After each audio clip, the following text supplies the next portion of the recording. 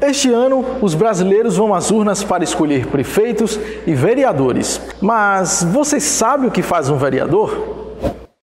O vereador faz parte do poder legislativo e é conhecido como representante do povo. Isso porque ele está mais próximo da comunidade e conhece de perto as necessidades da população. O principal papel do vereador é legislar. Ele é responsável por criar leis que vão ser sancionadas pelo prefeito e que deverão ser cumpridas no município onde ela foi criada. O vereador também pode sugerir indicações ou requerimentos de melhorias em locais públicos como ruas, escolas ou creches. Mas o vereador também tem um outro papel muito importante, o de fiscalizar. Ele é um dos responsáveis por fiscalizar as contas da prefeitura e de solicitar ao prefeito explicações sobre tudo que está sendo investido no município. Por isso, na hora de escolher o seu vereador, pense bem, analise as propostas e veja quais os interesses dele para a população. Ele será o seu representante municipal pelos próximos quatro anos.